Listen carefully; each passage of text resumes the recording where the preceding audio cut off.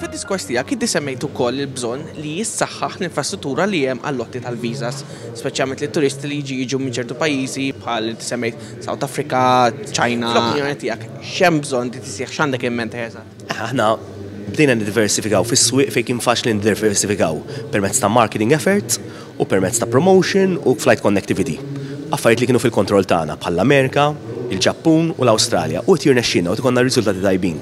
Jien nixtieq li nkomplu issa nikbru fiċ-Ċina fejn hemm potenzjal qawwi, kif ukoll fl-Indja u pajjiżi tas-South America.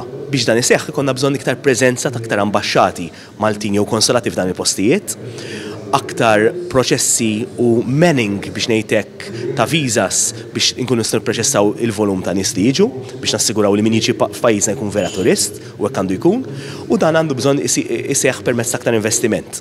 Naħseb jekk jingħamlu dan, fis-snin li ġejjin tkun game changer għall-pajjiż għax il-pajjiż tagħna filwaqt li l-Ewropa forsi ma tibqax tikber bil-growth li għaddejja bħalissa miegħha, Malta dejjem tkun ahead of the curve u tattira tkabbir ferm ikbar. U jiena qed naħdem ħafna flimkien ma' Carmelo Abela, Julia Farrugia u Michael Farrugia u anki l-OPM biex dan iseħħ u hemm rieda tajba fostna biex bħala tim nagħmlu dan iseħħ.